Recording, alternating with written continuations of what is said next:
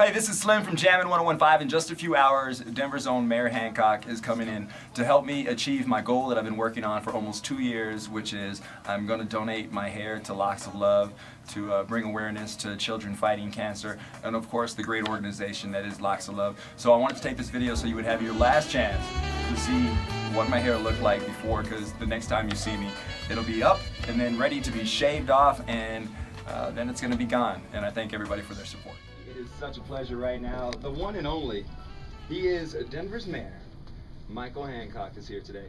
Mr. Mayor, thank you so much for coming down today to uh, see me today. I really appreciate you. Slim Slim, it's my pleasure to be here with you today, and thank you for what you're doing for Locks of Love. And you look good, man. Everyone should know he's got like 15 ponytails. They've been telling me I look like Coolio. there you go. That's a good yeah, one. They say I look like Coolio. Good analogy. Uh, I want to thank you first of all so much. Uh, the reason why I asked you to come down, I saw you about a month ago. We bumped into each other, right. and uh, you were like, "Slim, look at your hair." Yeah. And I immediately turned to you and I said, "Hey, I'm going to cut it for Locks of Love. Will you do it?" And you said absolutely. And I want to thank you for helping to bring awareness to what I've been doing. I've been uh, growing my hair since on the. We brought this poster in here. Oops.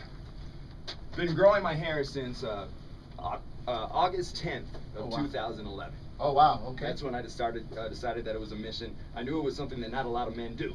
Right. You know, uh, like yourself, you grow a great head of hair. Used to. Well, there's a reason why we chose you to cut my hair is because nobody can cut hair better than you. Because look how shiny that is. well, you know, it also gives me a chance to talk about other ways people can uh, donate to Locks of Love. I mean, if you don't have hair like I don't, at least on my head, uh, I might have it on my arms uh, to donate, but. Others can donate blood. You can donate money, of course. Now, um, let me tell you about uh, about donating blood. One of the reasons why I chose to donate my hair is you see how skinny I am. I am not allowed to donate blood. I can't okay. donate blood or platelets. Okay. So I had to think of something that uh, I thought would, you know, was hard. I, right. I wanted it to be something that I had to struggle to achieve. Right. And a man growing his hair long, I get teased a lot. A lot of people have pointed, you know, and uh, the fact that uh, I've achieved my goal and in the end right. had so much support right. was really great. So I wanted to raise awareness for Locks of Love. I wanted to raise awareness for all, all our children right. fighting cancer because uh, I met I've met some great kids. Uh, I have a young lady behind you. Her name is Kennedy. Yes, Kennedy. Kennedy, come up here, Kennedy. I want you to meet the mayor. Say hi. Hi. We, we greeted each other just moments ago. Yeah. She is a beautiful young lady. Kennedy is a, a cancer survivor, and um, you've also. Can you tell everybody about the surgery you just recently had to have? Yeah. So in my past, um, they the cancer was located on my rib cage, so they ended up having to remove the ribs completely. And recently, um, they made a titanium rib plate, um, three ribs where they actually screwed it into my sternum. So I'm the first person basically in the world, I guess I could say, that has this titanium rib cage to just protect my lungs and part of my heart. So. I am so proud of you, and I followed you on Facebook the whole time for what you've been going through. So you make me so proud, Kennedy, and I thank you. We call her the Titanium Princess. She she should be, and I'll tell you, Slim, I think you'll agree. There's you know, there's nothing more emotional than to see a young person who goes through this. But you stand here, I'm standing next to Kennedy, and she's showing so much poise and, and courage in talking about what she's been through. And she's inspiring me standing next to her, so I, am just grateful to be in her presence. Now, I have to tell you, not only did I bring you here in support of Locks of Love and to raise awareness on how people can help Locks of Love, you can check out their organization at locksoflove.org. But I also had a small ulterior motive Right. Which your people were, were like, no ulterior motive, Slim. But I wanted you to meet Kennedy's mom. She is the uh, founder and CEO of an organization called the Miracle Party Foundation. Wonderful. And uh, this year they'll be doing another party. And I want to invite you. To come out and speak okay. at this party. That's all we ask for you. Okay. okay. And um, it is a great party. What it is is for kids that uh, are fighting cancer. It is strictly a party for them to come together, mm-hmm. forget about what they're going through, and have a good time. Absolutely. Nothing else. Oh, that's awesome. So we're we're good deal. We're asking you, well, Mr. Mayor. We got you. We, we cornered you, Mr. Mayor. please invite me. Absolutely. Um, now uh, I put all my hair up in ponytails. It's ready for you to cut. We're gonna film everything. I want to thank okay. uh, um, Ovation Cell Therapy. They actually, I had, I have a, I had somebody who was like, we want to help you. So I want to thank them for helping me to grow my hair. Okay. Um, and I want to put you to work. You're the best man to do the job. Let's look get at it that, done, Look man. at that hair. Um, Mr. Mayor, once again, thank you so much. You took time out of working all day long. You could be out having dinner right now. visiting with your wife. I love your wife. Tell her I said hello. I will. I will do that. Give her a hug for me because she knows I'm a big fan of hers. But uh, She's probably you. listening, Slim. So Mary Louise Lee, Mary- you are listening, Slim loves you, and I'm gonna let him get away with it. he looks good. He, he looks good, but he, he says his very best. I, I, I always give her a very mature, uh, mature hug. Uh, there you go. it. We'll Nothing. take it. No more than three seconds. No more than three seconds. uh, the mayor is going to be cutting my hair right now. I want to thank her for coming on down. We're going to be filming it. You can check it out at jammin1015.com. And uh, maybe in a few minutes we'll come back and talk to him again for a quick second. Mr. Mayor, thank. Oh, wait a minute. I had something special planned. I know that the mayor is the biggest fan of Frankie Beverly and. Oh, say it, say it so.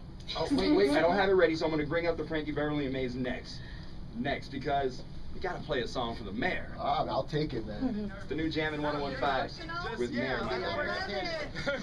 That works a long time to do this. You're the one cut right, uh, Right underneath the the. rubber, okay?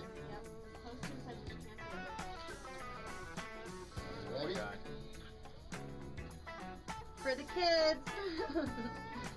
so he's gonna have a beautiful black shiny wig. His hair's so gorgeous.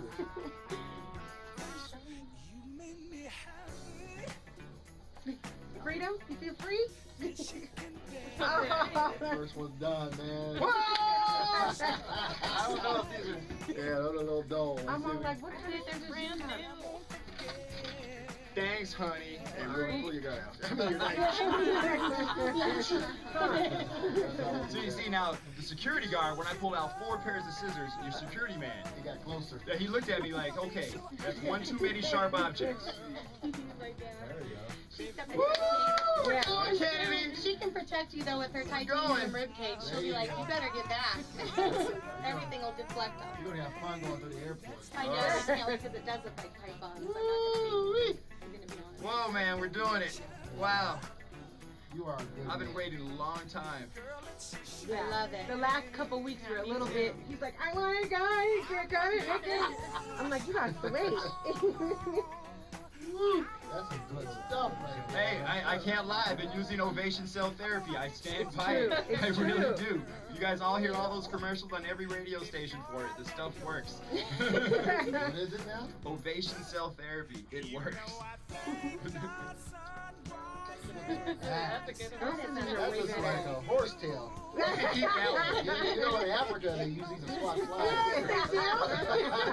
On mission trips. that Oh one. man. Ah, no, no. I have not a sensitive scalp. Who's cutting hair? Knew it was a little quiet. Just a tad. What's Slim and the Mayor doing?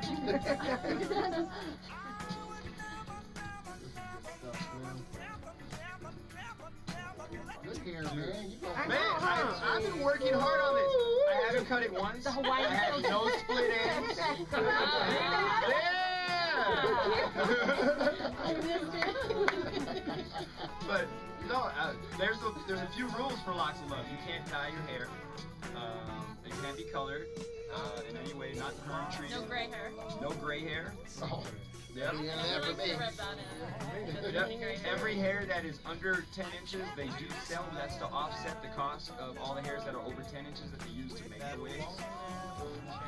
So, because a lot of people are confused and think that Locks of Love uh, is strictly sells wigs to kids, which they do not sell the wigs at all. They do sell hair, but it's hairs that are under 6 inches or under 10 inches. So if you ever hear somebody go, don't do it with Locks of Love, it's that's not true. And they're other than getting donations from people, they are a non-profit organization. Man, what is, what is your ethnic heritage? Puerto Rican. Now, this is some unbelievable hair. No kidding. Puerto Rican. Grow it good down there. Actually, I didn't know I could grow it this good.